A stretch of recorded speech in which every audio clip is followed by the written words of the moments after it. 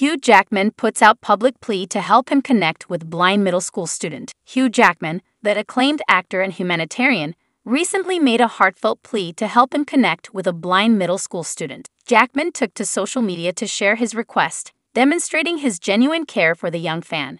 In a touching Instagram video, Jackman explained that he had received a touching letter from a middle school student named Ava who is blind. Ava expressed her admiration for the actor and her dream of one day meeting him. Jackman was deeply moved by her letter and decided to use his platform to fulfill Ava's wish. Jackman reached out to his followers and anyone who could help him get in touch with Ava. He asked for assistance in locating her or her family, expressing his desire to meet her and make her dream come true.